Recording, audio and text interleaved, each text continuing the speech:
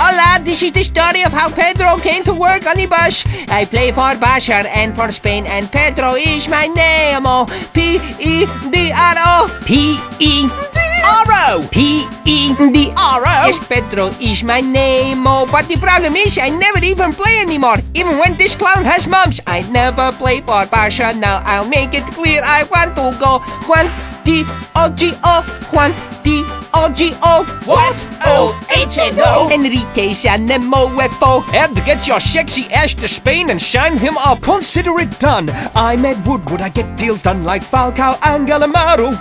E D C E O. E D C E O. Sexy CEO. When players meet me, they can't say no. No. What? Well, while you were stalling on paying up, I've had a few phone calls and they've made me change my mind. Who were they? Uh, what did they say? Hello, it's Jose. Sign for us. I'll pay you well to board my bus. I'm special. You and O.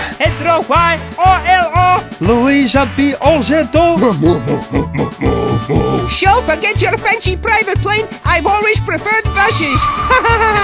Good one, Pedro. Good one. CEO, no. We have dropped our interest in Pedro. Can you tell us why? Well, it's a process. BS. And we don't want this Pedro. P A E D O. What? P A E D O. Wait, stop. P A E D O. We just don't want this Pedro. Jesus Christ, who put him in charge of spelling? And scoring for that matter? I play for Chelsea and for Spain, and Pedro is my name. Oh, P E D R O. P E D R O. P E D R O. Yes, Pedro is my name. Oh. Time for your medical. Good one, Jose. Good one.